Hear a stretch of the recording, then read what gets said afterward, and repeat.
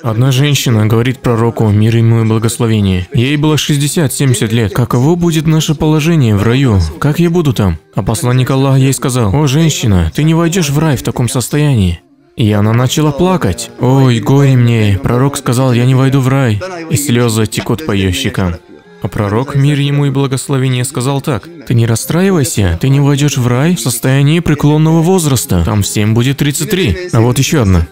И вот пророк сидит рядом с Абу Бакром и Али. Они едят финики.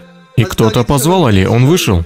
И пророк говорит Абу Бакру, смотри, что я сейчас делаю. Он собирает кости от фиников и ставит перед тем местом, где сидел сподвижник Али. И Али приходит и садится на свое место.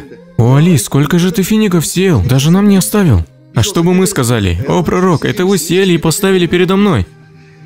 А что сказал Али? «О, посланник Аллаха, воистину больше меня съел тот, кто ел вместе с косточками». Дорогие братья и сестры, не забывайте поделиться роликом со своими друзьями.